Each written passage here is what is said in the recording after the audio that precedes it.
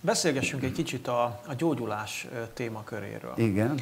Hogy ö, ö, mesélted, hogy neked nagy hited van abban, hogy amikor az Úr Jézus nevében imádkozunk betegekért, akkor meggyógyulnak. Igen. Hogy, hogy ez hogy, hogy kezdődött nálad ez, ez a dolog, hogy, hogy elkezdtél hinni ebbe, meg hogy, hogy volt ez? Volt egy testvér, aki, hát hiszem így az országban talán elsők között, vagy első is lehetett a mostani időben, hogy imádkozott emberekért, de a kommunista időben hát ő volt, amikor Amerikából fogadott vendégeket, és volt itt Balatonon egy vikendházuk, és hát sokszor üldözték ezért, meg nagyon sok minden elmarasztalás volt neki az életében, és a végén kimentek Németországba, de eljött oda, mert hát a fia oda nősült Kozsda. És feleségemnek egy szülés után olyan problémája volt, hogy hát a, az orvos nagyon megnyomta a hasát, és akkor így a, elkezdett görcsölni neki a, a most a, nem tudom, a ves, nem a vese, hanem a epéje, epéje hirtelen, hogy az, és Hát eléggé siránkozott ez miatt, hogy hát akármit már eszik, és akkor mindig hát jön ez a betegség, és akkor oda jött ez a testvér, és imádkozott érte, utána bármi tehetett, és teljesen megszabadult, és az én szívemben is egy vágy jött, a, amikor már szentélek, hogy betöltött, hogy hát én is szeretném ezt az ajándékot megkapni az úrtól, és ez az ember meghívott egy szolgálatára,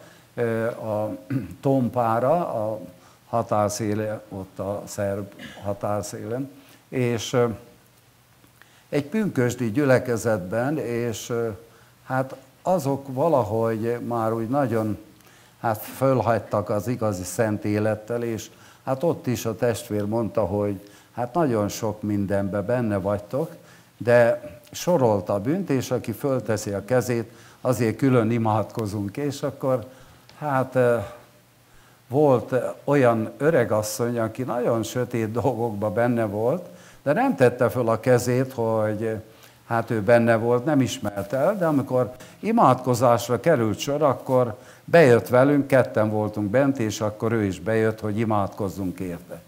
És mivel én még járatlan voltam, és nem kértem a védelmet sem, meg ilyesmit, hogy kell kérni a védelmet, mikor ilyen okul dolgokkal van megkötve egy ilyen asszony, és az a szellemiség megtámadott engem. De annyira valóságosan tudtam, Isten kijelentette, hogy itt az oldalamat támadta meg, hogy... Mi fájdalmat éreztél? Vagy mit igen, igen, egy olyan nem erős, de olyan fájdalmat, ami és akkor hát az úr kijelentette, hogy ez a, az asszony, mivel ő ilyen okult, és ő megjátszott bizonyos dolgokat, és ő inkább hatást akar.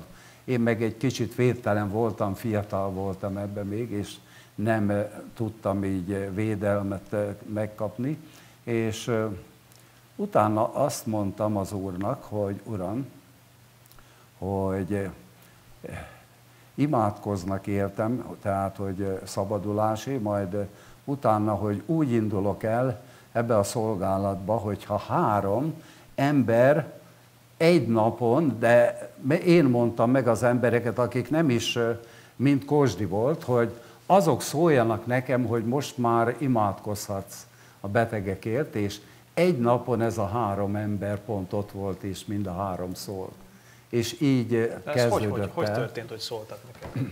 Hát olyan értelemben, hogy tudták azt, hogy már próbálkoztam előtte, de én megálltam addig, még nem e, teljes bizonyosságot nem kaptam arra, hogy, hogy már ezt tehetem, hogy védelem alatt legyek.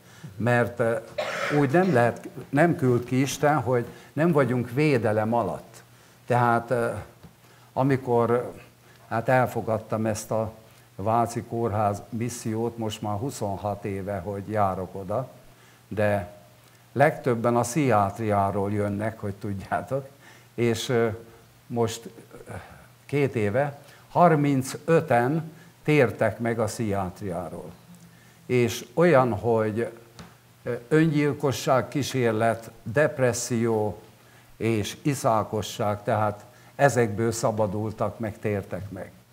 És ö, ö, annyira jó tudni azt, hogy Isten, ahogy én elkezdett engem tanítani, magába ö, én ráálltam arra, hogy először hát én magam higgyek abban, hogy hát nem orvosokhoz fordulok, hanem Istenhez, hogyha jönne is a betegség, akkor én hitben megállok, és hát 40 évig nem szedtem be semmilyen gyógyszert, úgyhogy. És, Mikor volt az első olyan eset, amikor imádkoztál valakiért, és úgy, úgy látványosan meggyógyult?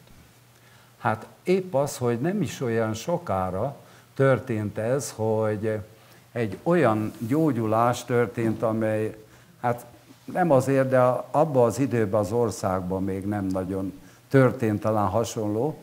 A hugomnak a lánya megszületett, ez pont most 38 éves elmúlt, és tavaly házasodott meg, de fél éves korában észrevették a védő, négy kilóval született meg, és fél éves korában észrevették, hogy nő a feje, hogy vízfejű.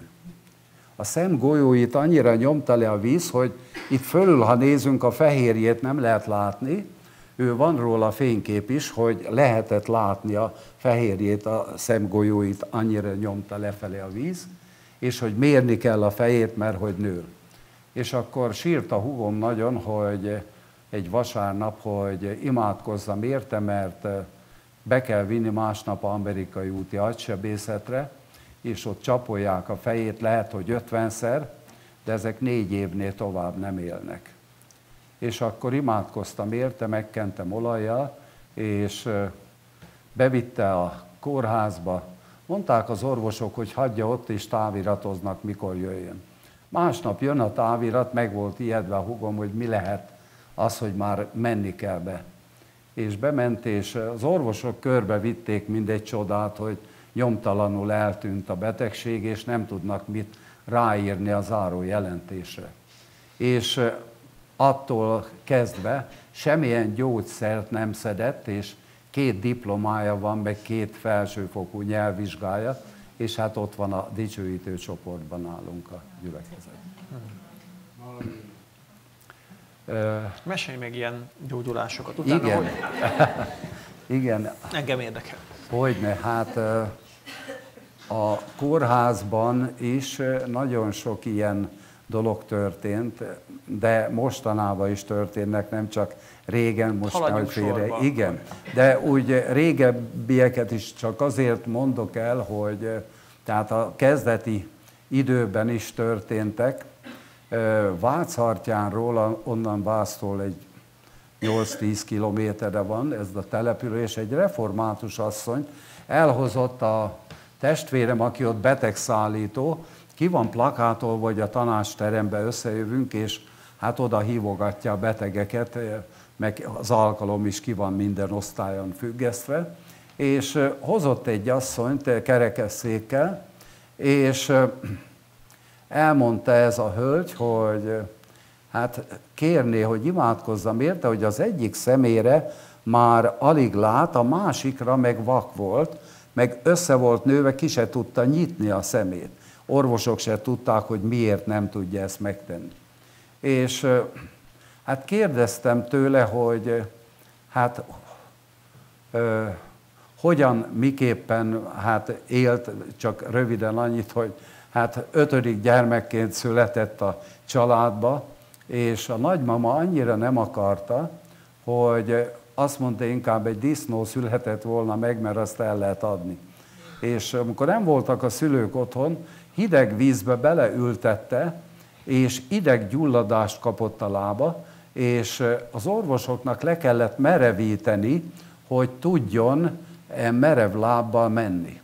De ez olyan 75 éves volt már ez a néni, és úgy megkérdeztem tőle, hogy hát kedves néni, vajon meg tudna bocsátani, mert a, a meg nem bocsátás, ez akadályozza a gyógyulást, hogy ennek a nagymamának meg tudna bocsátani. És azt mondta, hogy én már akkor, mert a nagymama nem él, megbocsátottam, meg most is. Tehát azonnal rávágta gondolkozás nélkül, szabad volt a szíve. Hát mondom, magát nagyon szereti az úr, és akkor oda megyek, imádkozok ért, a vállára tettem a kezemet, és akkor azonnal ott a helyszínen megnyílt a vak szeme, és kiáltozott az örömtől ez a hölgy, hogy áldott minket, hogy az Attila lehozta, meg én is, hogy imádkoztam érte. Tehát, De ma ez egy kicsit részletez. Tehát, ja, hogy, igen. tehát, hogy oda jött, és akkor mi? Rátetted a kezedet a szemére, vagy hogy csinál? Hogy történt Nem. Ez? Nem, még, még nem is a szemére tettem, csak a vállára tettem rá a kezemet. És amikor ő elmondta még annyit, hogy Őrbottyáni baptista imaházba is elvitték kislánykorába, és azt mondja, hogy tudott egy olyan éneket mondani, én is ismertem, tehát valós volt, amiket így mondott, és utána, amikor mondtam, hogy meg tud bocsátani, akkor mondom, Isten most fog cselekedni az ön életében. És akkor oda mentem, és csak imádkoztam érte, és kinyílt a Az, ami össze volt nőve, az? Ami össze volt nőve, az. Mert ő azt kérte, hogy az imádságos könyvet tudja olvasni azzal a másik szemével, ez volt így a kérés. De hát fontos tudni azt, hogy Isten akarja, hogy minél nagyobbat elmerjünk inni, vagy kimerjük mondani, mert hát ezzel kapcsolatban is hát voltak már olyan helyzetek, amikor hát csak nagy vonalakban Bocsánat, mondom, igen. Tehát amikor azt mondtad, ne, azt, mikor azt mondtad neki, hogy, hogy az, az Isten most csodát fog tenni az életedben, akkor te, te tudtad, hogy ez meg fog történni vele? Hát én hittem. Uh-huh. Én teljesen hittem, mivel hogy ő azt a feltételt betöltötte, hogy, mert e, azt tudni kell, hogy Istennél ez egy elvégzett tény, hogy az embereket meg akarja gyógyítani. Tehát nem úgy van, hogy némelyeket meg akar, némelyeket nem akar. Nem, Isten ezt elvégezte, már az Ószövetségben mondta Isten, hogy én vagyok az Úr, a te gyógyítód.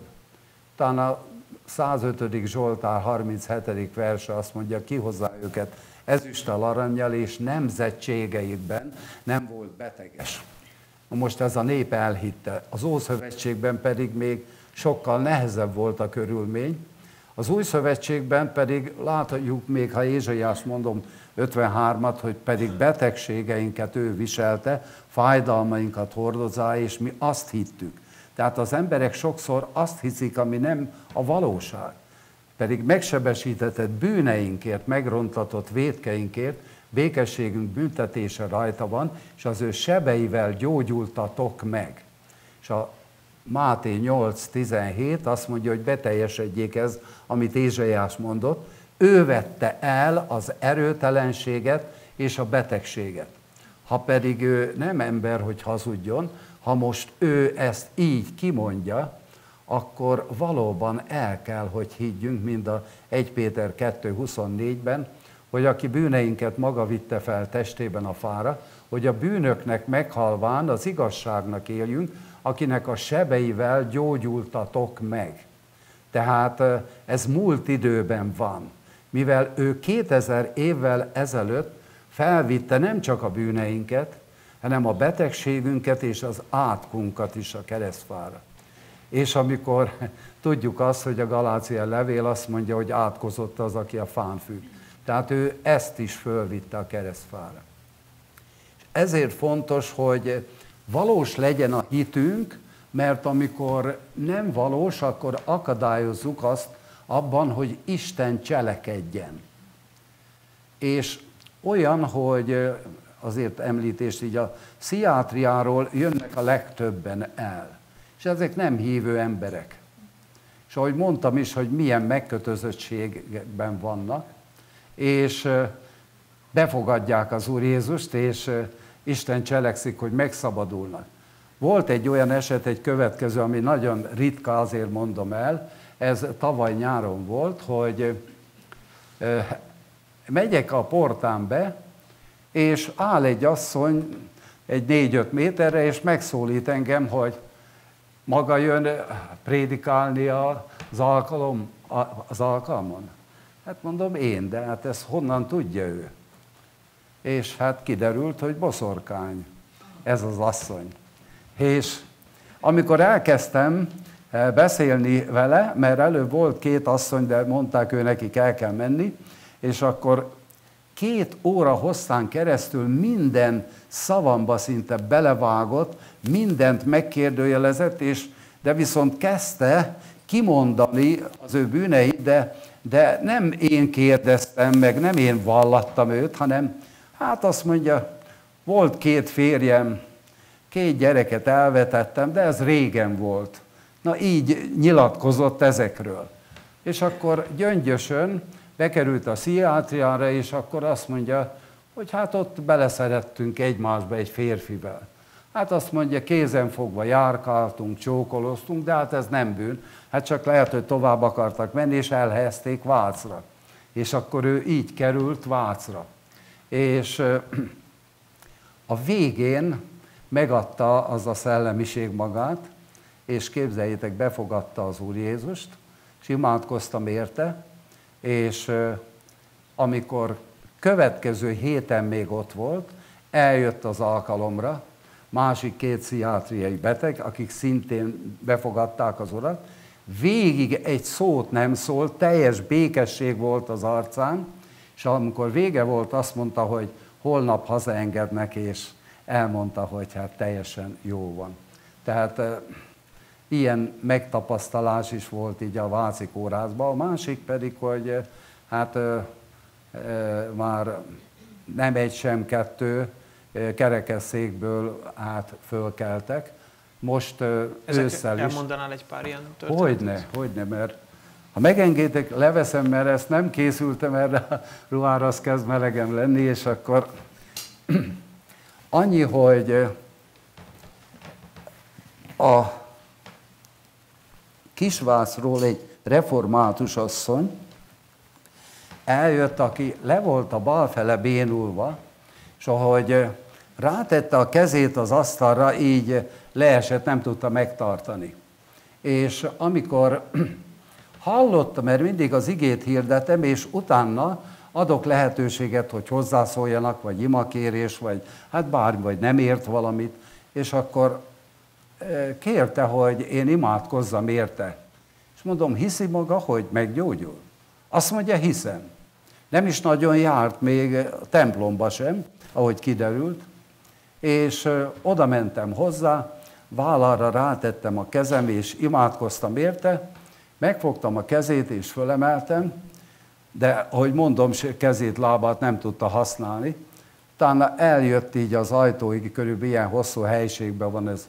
Eljött velem, vezettem, elengedtem a kezét, utána már maga jött vissza, ahol a köntöse volt, meg a, a e, hogy mondjam, ez a kerekesszék, és az egyik testvérnő adott neki, mert sírt közben, ilyen papír zsebkendőt, akkor ott keresett, hogy visszaadja, és Mondom, most csináljon olyan mozdulatokat, amit nem tudott. És ott volt a fényképezőgépem, és akkor így állva, hogy emelgesse a lábát, és rendesen tudta emelgetni. És megadta az úr azt, hogy mentem Vácra egy ö, postára, Deákváron, hogy befizetek egy csekket, és jön ki velem szembe. Minden bot, minden nélkül tökéletesen járt ez a hölgy. És volt egy másik eset, ez Gödről, 93 éves katolikus bácsi, és elmondta, hogy hát ő nagyon buzgó katolikus, hogy a, amikor katona volt, vagy katonatiszt volt, ő hozta az embereket a templomba, vagy így, így ezt, igyekezett arra, hogy hát azok is elmenjenek. És volt két krizofén elmebeteg ott, meg ő ez a bácsi és ez a, az emberek kérték, hogy imádkozzam értük, és egy hatalmas szabadulás történt náluk, és amikor látta ezt, hogy mindjárt egy-két napra rá hazaengedik onnan a kórházból. Ez az egyik krizofén elmebeteg olyan volt, hogy csak egy olyan 5 centiseket lépett egy ilyen lehajtott fejjel, és észrevettem a nyakában, hogy van egy szíj, és ilyen görcsök vannak rajta. És akkor kérdeztem, mert ezt mondom biztos, hogy valami nem szabályos dolog, kérdeztem, hogy honnan van ez, vagy mit jelent ez számot. Azt mondja, a fele, vagy a Hugo, nővérem hozta Japánból, és azt mondja, hogy ezt ott kell hordani a nyakamban, nem szabad kivenni. Na, mindjárt tudtam, hogy ez ma az ördögnek egy nagyon jó csapdája, és e, imádkoztam, így az asztal másik felén volt, és egy, te tisztátalan lélek, menj ki ebből az emberből, és elkezdett nagy hangon ordítva kimenni belőlük, belőle ezek a tisztátalan lelkek, úgy kellett lecsillapítani, hogy nehogy a kórházban azt gondolják, hogy valami baj vagy valami probléma van. És utána pedig ezt, hogy nehezen tudta megérteni, hogy ki kell venni a nyakából, és amikor hát elfogadta, kivette, akkor újból elkezdett abból szabadulni, és majd, hogy ő meg semmi, nem mondom, ezt nem adom oda, mert elmész és meg lehet visszateszed a nyakadba, mondom, majd én ezt itt a illemhelyen leengedem, és nem lesz senkinek semmi problémája tőle. És ott is az úr megengedte, hogy megyek Vácon, egy hét múlva körülbelül, és ez, aki olyan 5 centiseket lépett, nagy léptekbe pont a kocsi előtt az úton ment keresztül előttem, a, hogy meglássam őt pont, hogy jó van meg, hogy oda-haza van. És ez a 93 éves bácsi látta, hogy hát ez megtörtént, és azt mondja, hát Jenőkém azt mondja, értem is imádkozná. Hát mondom, hogy ne, de ezt kérni kell. Én nem mehetek oda, hogy én akarok valakiért imádkozni, hanem ezt kérni kell. És imádkoztam érte, és képzeljétek el, Neki hogy... mi baja volt? Hát ő is tolószékben nem tudott járni. Abba ült, abba hozta el ez a testvérem, és akkor kikelt a tolószékből, és körülbelül egy 80-100 méterre van az a sziátria onnan a helységtől. Maga előtt tolta a kocsit, és úgy ment vissza ez a 93 éves bácsi. És most ősszel is volt két eset, két katolikus. Az egyik egy biztonsági őr volt, a másik meg eh, egy eh, katolikus nő, szintén így kerekes székben ülők voltak, és valahogy olyan igét adott, mert nem szoktam sohasem, hogy félre ne értsétek, valakit a bűnnel bombázni, hogy most ha ezt eh, megteszi, mert ha valaki meggyógyul, a bűne is megbocsátatik.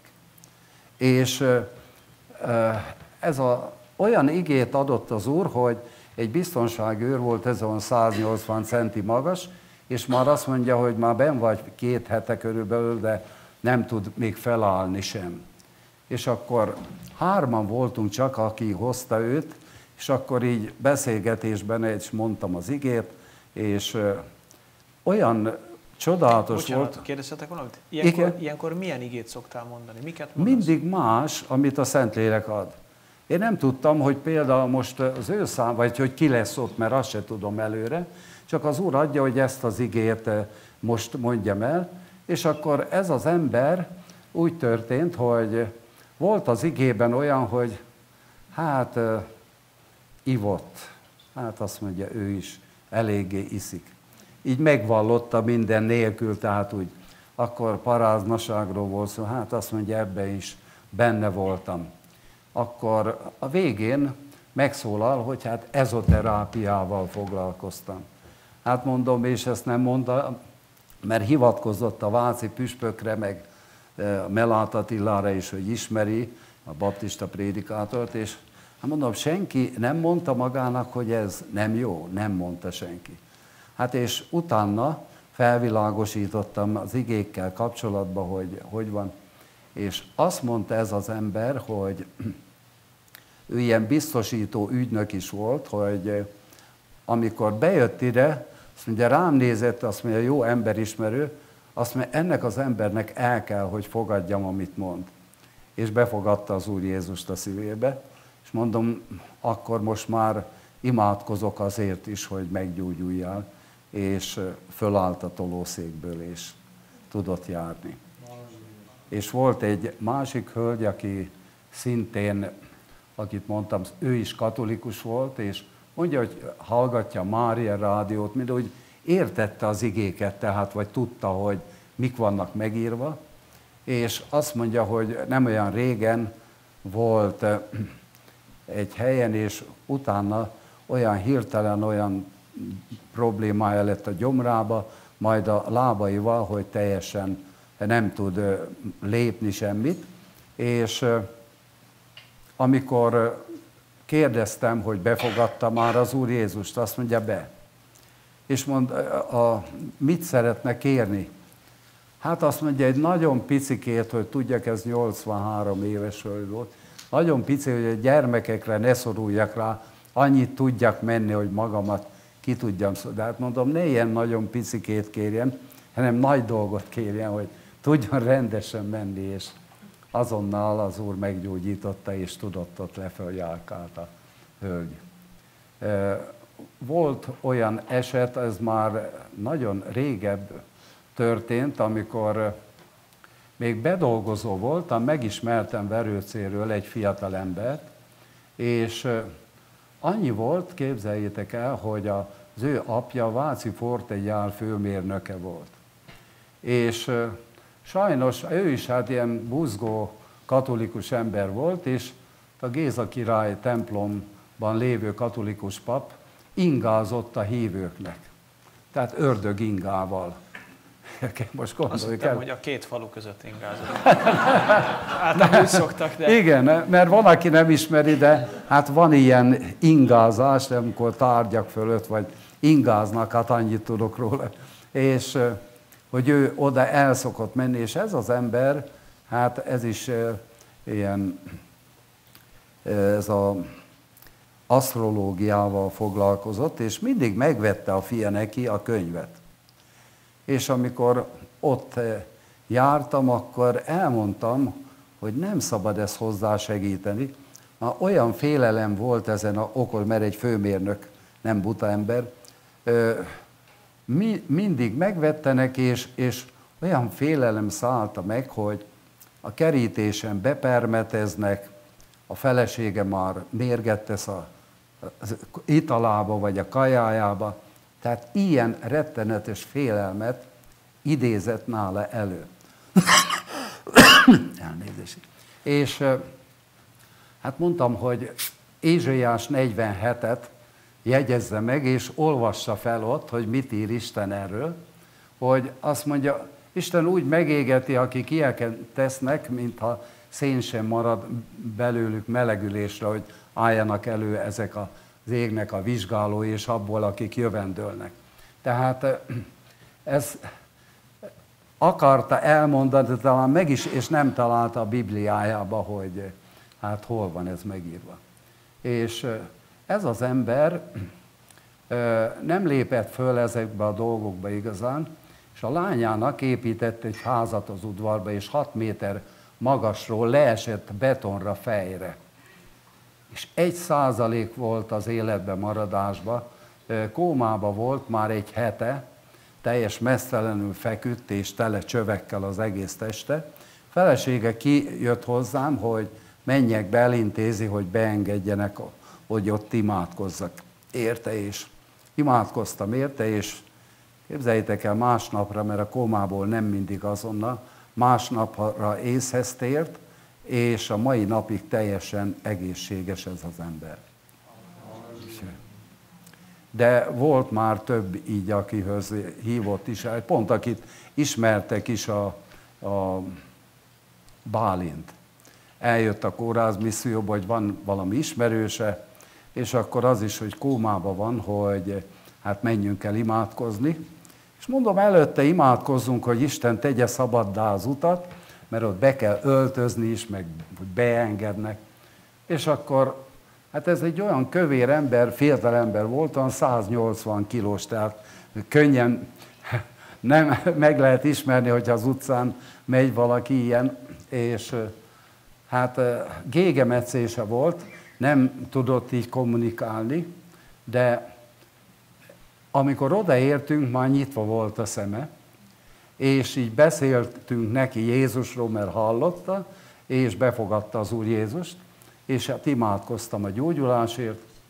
Mentem Vácra egy üzletbe, hogy vásárolni, hát nézem a másik oldalon, megy ez az ember, ez a 180 kilós ember, hát teljesen éppen egészségesen ott ment ez az ember. Tehát olyan tényleg különleges módokon is Isten cselekszik. Hát egy közelebbit hadd mondjak el, mert a november, vagyis októberben voltam, mert novemberben hívtak több helyre szolgálni, és akkor voltam az élő igébe Budapesten szolgálni, és föltették a Youtube-ra. És egy hét múlva Szolnok mellől eljött három ember, olyan 70 év körüliek, de nem is kocsival, hanem úgy vonattal, meg busszal, és tízre kezdésre odaértek. Vasárnap az Isten tiszteletre? Vasárnap Isten tiszteletre, igen.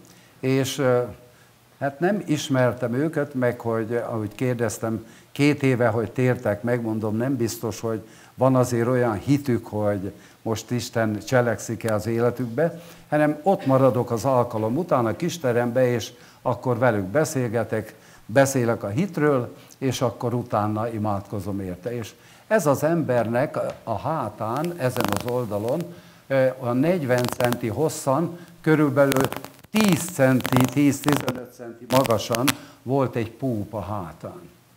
És amikor kezdtem imádkozni, nem szokott ilyen lenni, Szentlélek kijelentette, hogy ez az ember iszik. És mondom neki, hogy hát le tudná hogy tenni. Történik? Hogy történik, hogy a Szentlélek kijelenti, csak jön egy gondolat, és, és nem, tudod, hogy az Istentől nem, van? Nem, hanem nyelvek magyarázata által úgy megadta az Úr, hogy azért szoktam így a nyelveken imádkozni is a betegekért, hogyha van esetleg olyan probléma az életükben, olyan gyökér, amitől meg kell szabadulni, akkor elmondom, és akkor az gátja lenne a gyógyulásnak. És tehát, akkor tehát, ezt is... Bocsánat, tehát pontosan, igen? hogy, hogy ott volt ez az ember, és igen? akkor ahogy imádkoztál érte, akkor imádkoztál nyelveken, és akkor mondasz egy mondatot nyelveken, utána jön magyarul annak a magyarázata, igen, és igen. nem gondolod ki előre, hogy mi fog jönni, nem. csak akkor jön, és akkor így kaptad meg azt, hogy iszik az ember. Igen, igen. És elmondtam, és ez az ember azt mondta, hogy hát kész letenni. Feleség... Tehát tényleg, tényleg igaz volt, hogy... Igen, egy méterre állt mögötte, és rátettem a púpjára a kezemet, és akkor elkezdtem imádkozni. Öt másodperc alatt eltűnt a púpa hátáról teljesen. Tehát annyira valós volt az, amit Isten kijelentett, meg nem akarja, hogy ebbe tovább megmaradjon, hogy ez egyből így. És rendesen érezted, hogy így Na most eh, még azt is eh, eh, el tudom mondani, mert Ráki Tamásnál volt nyáron, hogy imádkozzon érte, de ez az ember Parkinson kóros is volt, így meg volt görbedve és görbülve, és nehezen tudott lépni, csak kicsiket. És akkor azért imádkozott, és akkor tudott menni, utána még szaladt is ez az ember. De amikor ide eljött, akkor már púp volt a hátán, meg ugyanúgy nehezen tudott menni. Tehát Isten valahogy akarta őt helyre tenni, és amikor... Tehát akkor nem csak a betegséget akarta kezelni, hanem ezt igen, az alkohol dolgot de amikor ez megtörtént, hogy a púp eltűnt, akkor na mondom, most lépjünk, hogy hogy tud menni. Azt mondja, én ma tudok menni, és akkor elkezdett nagyokat lépni menni, utána azt mondja, még szaladni is, és elkezdett ott szaladni a, a helységbe. Tehát annyira csodálatos, hogy Isten, amit kijelent, vagy amit akar egy embernél elvégezni, ő, ő ezt csodálatosan megteszi. És egy olyan esetet hadd mondjak egy ami, hm, amikor ott voltak a, azok a fiatal testvérek a egy utcából, hogy bizonságot tettek a szentélekről. Tehát Ak- még az 60-as években valami. Várja, 70, 70, 70 7. november 21-én, igen, és akkor volt két lánytestvér, és akkor, akkor láttam először, meg azóta sem ezt a lányt, de mind a ketten olyan komoly hitbe voltak, meg Isten szentlelk ajándékai úgy működtek, hogy még arra is emlékszem, hogy külföldre akartak menni, és ez a lány imádkozott, hogy ne legyen probléma, és akkor a Szentlélek kijelentette, hogy a kuplunggal probléma lesz, és ki kellett cserélni, és nem volt utána gond. Tehát, eh, és ez férhez ment Németországba, ez a hölgy, és a testvére viszont eh, eh, egy Skype adásba voltunk most, van egy amerikai házas pár hozzánk is el szokott jönni, és ők egy ilyen Skype tanításra, hát nagyon sok országból vannak ismerőseik, magyarok, és akkor azok így belépnek. És amikor én is mindig hétfőn meg csütörtökön volt ez az adás, beszoktam kapcsolni, és akkor én is nézek, és volt már, hát, hogy ismertek, hogy imádkozzak ezért, vagy azért így a Skype-on keresztül. És akkor, amikor be akarom kapcsolni, nem akar bejönni a Skype, és én annyira nem értek a számítógéphez, mondom a fiamnak, hogy hát csináljunk valamit, akkor egy új jelszó minden, hogy mire bekapcsolódtunk, majdnem vége volt a tanításnak, és ez a testvére elmondta, hogy nagyon súlyos betegségben fekszik a kórházban, Németországban a testvére, de ő hiszi, hogy az Úr meggyógyítja. És olyan problémája volt, hogy a, az egyik tüdejét ki akarták venni, a lépét, meg tüdőgyulladása volt, meg hát gégemetszés volt ennél a lány, úgy feküdt a kórházba, és, és hát ezért kérte, hogy hát imádkozzon valaki. És akkor, mikor bejött ez az adás, akkor előtte már legalább másfél-két órával Isten kenetét éreztem a kezembe, és, az mit jelent, hogy Isten kenetét? Ez hogy, hogy történik? Ez olyan, hogy mikor különösen így a hitről is beszélek, vagy a, az emberek felé a hitet prédikálom, akkor ez olyan, mint egy ilyen kis bizsergés, vagy egy gyenge áram átjárna a kezemet, én ezt nem tudom így magamtól befolyásolni, hanem ez, ez úgy érezhető. És hát már éreztem előtte egy órával, másfél órával, és akkor hát jött ez, és jött a kérdés, és hát így mondtam, hogy hát hiszem, hogy most nekem kell imádkozni, mivel éreztem nagyon, meg a sátán próbálta akadályozni, hogy ez a kapcsolat ne jöjjön létre, és akkor ez hétfői nap volt, imádkoztam ezért a hölgyi, az ő hitén keresztül, aki Németországban, kórházba feküdt, és csütörtökön, ahogy újból együtt voltunk, akkor azt mondja ez a testvére, hogy már beszélt vele telefonon, tíz napon belül kiengedték a kórházból, se a tüdejét, se a lépét nem kellett kivinni, kivenni, és akkor teljesen tud dolgozni, és ellátogatott ide Magyarországra is hozzá, úgyhogy hát ilyen, ilyen messziről, hát egy, egy nagyon nagy csoda volt, amit Isten megtett. Na, hát dicsőség az Úrnak, azt tudom mondani. Még hallgatnánk ezeket a történeteket tovább, de hát, hát nincs igen. időnk. szóval természetesen még mondhatsz. Inkább engem most az érdekelne, igen. arról beszélgessünk egy kicsit, hogy, hogy, hogy, hogy tehát mi az, amit te megtanultál a gyógyulásról, a gyógyításról? Mi az, ami, amit te megértettél, hogy szerinted miért működik ez, hogy működik? Mit kell ahhoz megérteni nekünk, hogy, hogy, hogy több ilyen gyógyulást tapasztaljunk? mindig az a legfontosabb dolog, hogy ne ilyen egyéni elképzeléseink legyenek dolgokról, vagy esetleg csak mondott valaki valamit, hanem maga Isten igéjén alapuljon a mi hitünk. Tehát Isten azt mondta, sok, sokszor elmondom a kórházba is, hogy nem azt mondta Isten, hogy higgyünk az ötös találatba, lottóba, vagy ilyesmiben, nem, hanem azt, amit Isten megígért. Oda, oda tehetem még az ujjamat is, Uram, hogy te ezt megígérted, és én ezt elfogadom. Tehát kételkedés nélkül ráteszem az én hitemet, mert azt mondja, minden lehetséges annak, aki hisz. Tehát fontos, hogy ne csak egy emberi gondolatokkal vagy gondolkozásmóddal, hanem mindig Isten igéjén alapuljon a mi hitünk. Tehát ő, Isten mindig az ő igéjéhez igazodik, nem hozzám vagy máshoz. Ezt elmondanád, hogy ezt konkrétan te hogyan csinálod? Kikeresel a Bibliából egy igét, és akkor azt mondod, Uram, ez itt meg van írva, és akkor... Nem, ezt már nekem, bocsánat, nem kell alkalmazni, mert van arra hitem, hogy Isten egy cselekvő Isten. Most nehogy félreértsétek, alig várja, hogy meggyógyítson téged. Tehát nem az, hogy jaj, majd ha olyan jó leszek, vagy valami olyan, nem, hanem Istennek fiai vagyunk, és a mi fiainknak a legjobbat akarjuk adni. És ha, mivel ellenséges területen vagyunk, a sátán azért jön, hogy öljön, pusztítson, raboljon. Jézus pedig azért, hogy életük legyen, és bővölködjenek. És, és amikor ezeket megismerjük, hogy Isten mennyire igaz, mennyire ő maga az íge, mert azt mondja János egyben, hogy és kezdetben volt az íge, vagy nem a másodikot idézem, bocsánat, azt mondja, hogy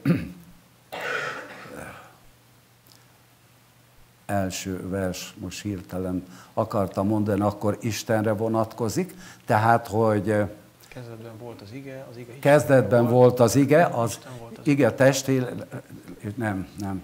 Bocsánat, kikeresem már azért, hogyha lehetne, hogy itt rosszul emlékezzek most a sok minden után.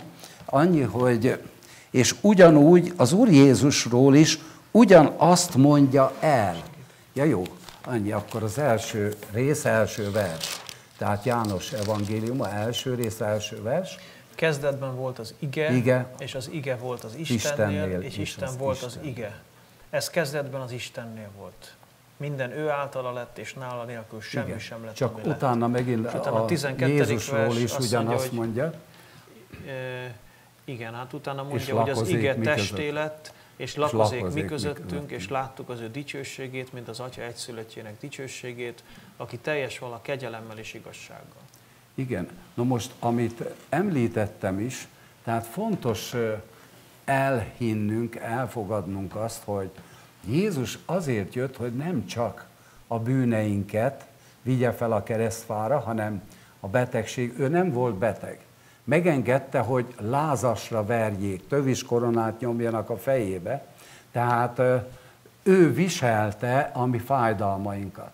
És nem abba gyönyörködik, hogy most mi bemegyünk a kórházba, és akkor ott nagyon türelmesek vagyunk, és esetleg bizonságot teszünk valakinek, mert így a vallásosságban ezt szokták mondani, de nem ez a fő cél, hanem úgy bemenjünk a kórházba, hogy mi egészségesek vagyunk, és a, az embereknek visszük azt, hogy van lehetőség a szabadulásra, a gyógyulásra, és hát pont azt tapasztaltam meg, ez csak úgy beszúrásképpen, hogy pont ahogy a 25 év letelt, ahogy a kórházba bejárok, ez pont most február második hetében van a 26. év, és valaki bement a központunkba, és az egyházelnök fölhívott, hogy hát valaki bement, és befizetett nekem meg a feleségemnek Izraelbe egy útra ami nem kevés, és hét napos úton kint lehettünk Izraelbe, és hát ez egy csodálatos dolog, hogy annyi éven keresztül imádkoztam azért, hogy Uram, add meg, és megadta, és még a tetejébe kaptam, amit nem tudtak erről, az egyik vezetőtől, hogy egy olyan olajat, mint a Mária Magdaléna az Úr Jézust kente meg, nárdus olajat, amely hát egy éves keresete volt állítólag a az időben ennek a hölgynek. És a kórház misszióban nem szoktam nagyon használni, mert nem hívő emberek, de amikor esetleg így hívők között, Azért szoktam, mert a Jakab levele mondja, hogy megkenvén olajjal az Úrnak nevében, és a hitből való imádság megtartja a beteget, az Úr felsegíti, és a bűnt követett is el, megbocsátatik néki. Tehát annyira fontos ezekről tudni, hogy, hogy a hittel való ima. Tehát azt mondja Jakab, hogy ne, vér, ne e, vélje az az ember, hogy kaphat valamit az Úrtól, aki olyan, mint a tenger hulláma, hol fönt, hol lent. Most jó, hogy erről még pár szót beszélünk, mert a sátán az hazug, és az hazudja a szintómákat, ami még nem betegség. De amikor el szoktam mondani, hogy beleszúr mondjuk a hátamba, ezt ő tudja produkálni. És akkor én megijedek, és azt mondom, biztos megfáztam, biztos tüdőgyulladásom van, és amikor ezt kimondom, akkor megengedem neki, hogy rám tegye. Mert ő nem minden tudó, ő rossz gondolatokat hoz, és ha nincs rajtunk a fegyverzet, akkor ezt elfogadjuk, és beengedjük a szívünkbe, és ott megfoganván bűncül. De amikor kimondjuk, mert példabeszédek 18-21 azt mondja, hogy mind az élet, mind a halál a nyelv hatalmában van, kiki, hogy szeretne élni vele, úgy veszi gyümölcsét. Hát ezért akkor nem szabad ilyen negatív dolgokról beszélni nagyon, mert akkor annak vesszük a gyümölcsét. És amikor tehát elhisszük azt, hogy az Úr az én gyógyítom, akkor szembeszállok a betegséggel, szembeszállok a gonoszszal, mert szinte minden helyzetben ő áll mögötte, hogy minket megbetegítsen vagy elpusztítson. De azért kaptuk a hatalmat, hogy ott ülünk Jézussal együtt a trónon, és a lábaink alatt vannak a démonok, azt mondja, megrontsa az Úr, aki lábaitok alatt hamar, korintusi levélben, ahogy mondja. Tehát kígyókon, skorpiókon tapostok az ellenség minden erején, semmit nem árthat néktek. Tehát nem a félelem lelkét vettük, hanem az erőnek, a szeretetnek és a józanság lelkét, és ezen múlik, hogy nem félelemből teszünk dolgokat, vagy nem félelemből, hát a félelmeinket valljuk meg. Tehát amikor kimondom azt, amitől félek, amit tegnap kimondtam, az meg ma, ma bekövetkezik. És akkor nem tudjuk, hogy miért jönnek ezek a problémák, mert mi adtunk neki lehetőséget vagy helyet annak, hogy ez így megvalósuljon. És hát sátán meg azon van, hogy öljön, pusztítson, raboljon, és, és hazudja a szintómákat, és minden áron azon van, hogy valamiképpen megfélemlítsen, mert a félelem hagyja utoljára el a hívőket. Ezt kell tudni. Tehát ez, ez egy nagyon fontos feladat, és általában a, mindjárt a beszédünkből meg lehet tudni azt, mikor valaki fél. Mindjárt előhozza, mert azt a szívéből fog beszélni, mert előhozzuk azt, amit, ami bennünk van, és elég csak, ha az embernek a beszédjére figyelünk, akkor megnyilvánul az a szellemiség, aki benne van. Tehát egy fontos tudni azt, hogy az előhozza az ő dolgait.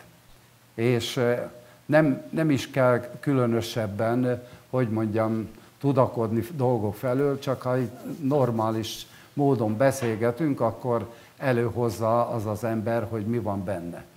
Tehát csak a beszédjére kell figyelni. Hogyha egy keresztény testvér betegséggel küzd beteg, Igen. akkor milyen mit javasolnál neki, mit tanácsol neki, mit tanácsolnál neki, hogy mit tegyen, hogyan tud kijönni Igen. a betegségből? Hogyan írnád Na le most, a folyamatot? Mit igen. mondanál? Na most nagyon fontos dolog a megvallás. Én például, vagy 25-30 éve teszek megvallást minden nap.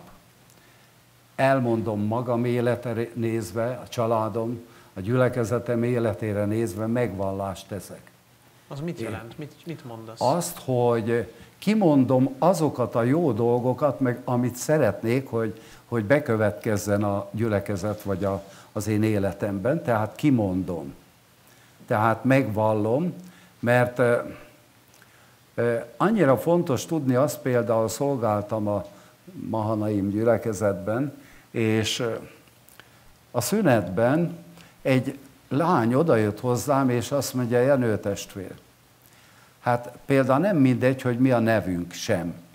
Mert ezt nagyon sokszor kimondjuk másoknak, mikor megkérdezik, hogy hát hogy hívnak, vagy ben. És azt mondja, hogy az a, a, olyan a nevem, hogy az a jelentése, hogy egyedül álló.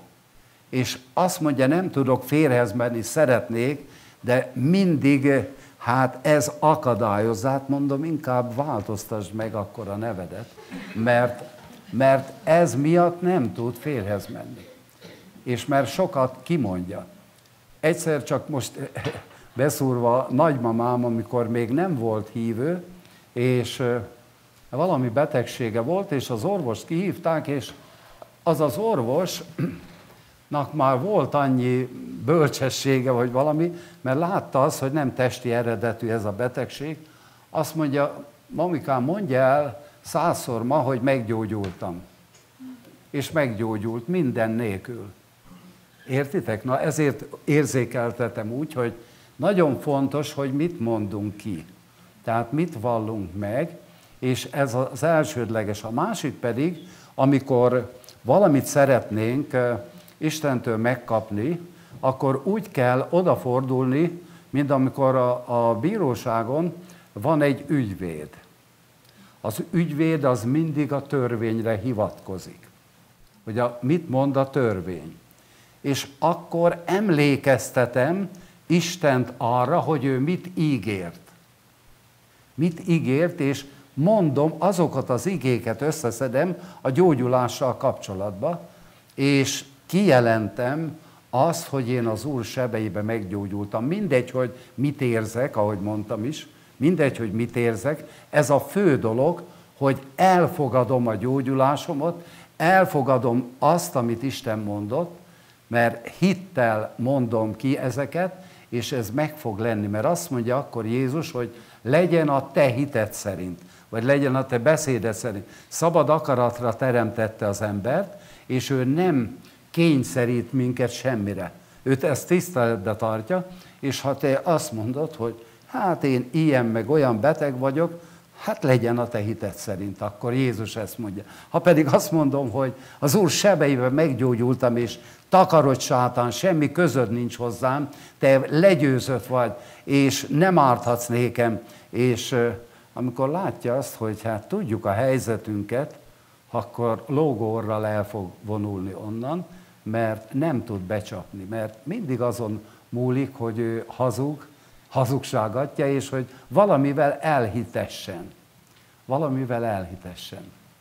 És tudni kell az, hogy nagyobb az, aki bennünk van, mint aki ellenünk. Tehát nagyobb lakik bennünk. Az, aki legyőzte a sátánt, az lakik bennünk, nem pedig úgy, hogy most mink valami félelembe, meg Istentől távol lennénk, hanem azt mondja, hogy ők belünk költözött az egyharmad részünk, amely újjászületett a Szentélektől, ez Isten része bennünk. Ez Isten része bennünk. És az nem is védkezik, az tökéletesen az fogja örökölni az Isten országát, viszont a testünk meg a lelkünk, ez bűnre hajlamos.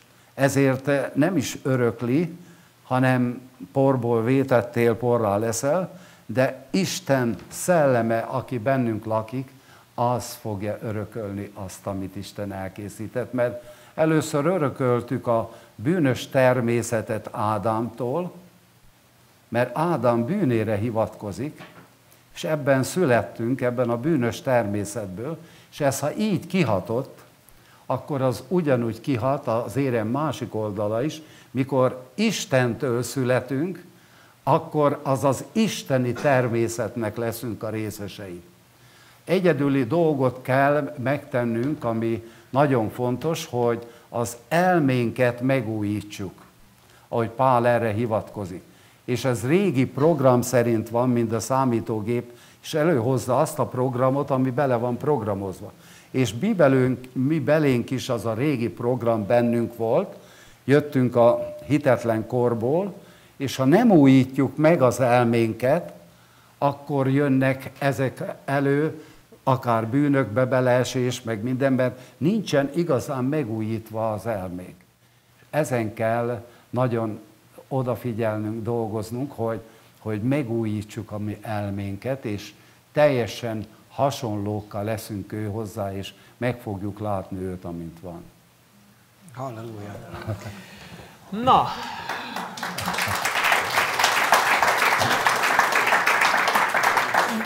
mivel hogy 8 óra lesz két perc múlva, és úgy ígértük, hogy 8-kor befejezzük, ezért két perc múlva befejezzük ezt a részét.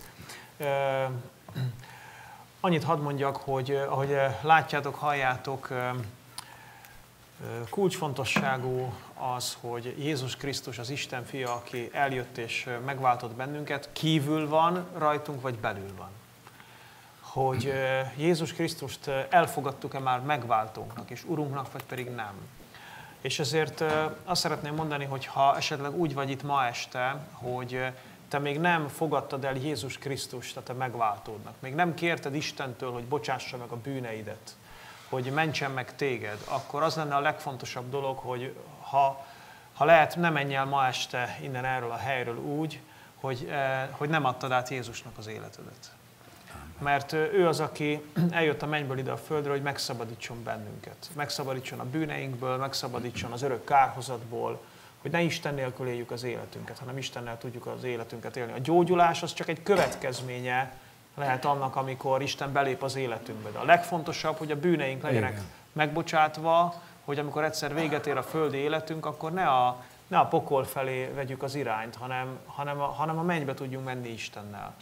Ezért én arra gondoltam, látjátok a Jenőnek a, a, a beszámolóiból, hogy mennyire valóságos az Istennel élni, meg mennyire valóságos nélküle élni. Mennyire valóságos Isten, és mennyire valóságos a sátán. Mennyire valóságos a bűn, mennyire valóságos az igazság. A menny és a pokol. Tehát ez, ez, ez így van. És ezért én arra gondoltam, hogy most elmondanék egy imát, egy, egy olyan imát, amivel át tudod adni az életedet Jézus Krisztusnak, ha ma szeretnéd, mert esetleg még eddig nem tetted meg és ezt úgy fogjuk tenni, hogy így mondatról mondatra mondom az imát. Ez az ima arról fog szólni, hogy, hogy meg elmondhatod Istennek, hogy te hiszel ő benne, és bocsánatot kérhetsz tőle azért, hogy eddig nélküle éltél, de elmondhatod neki, hogy mostantól kezdve vele szeretnél élni. És ebben az imában meg fogjuk szólítani Jézus Krisztust, és ki fogjuk mondani azt, hogy hisszük azt, hogy ő a megváltó és bocsánatot kérhetsz ebben az imában tőle azért, hogy bűnben éltél, és kérheted, hogy vegye el a te bűneidet, és megszólíthatod őt, és megkérheted arra, hogy legyen az életednek az ura, és elmondhatod neki, hogy innentől kezdve vele akarsz élni. Tehát erről fog szólni ez az ima és hogyha még ezt eddig soha nem tetted meg, akkor, akkor, akkor ezzel az imával átadhatod Jézus Krisztusnak az életedet. Úgyhogy csináljuk azt, hogy most egy kicsit hajtsuk meg a fejünket mindannyian, jó? És, és hogyha gondolod, akkor becsukhatod a szemedet, hogy ne zavarjon más, és most nem azt kérem, hogy mindannyian mondjuk hangosan ezt az imát, hanem azt én fogom mondani hangosan, és hogyha te ma szeretnéd Jézusnak átadni az életedet, akkor csak halkan suttogva magad előtt, de mondjad utánam ezt, a, ezt az imát neki. Menjél, atyám, hiszem, hogy te létezel. Hiszem, hogy te teremtettél engem is. Azért teremtettél, mert szeretsz engem. És jót terveztél az életem felől.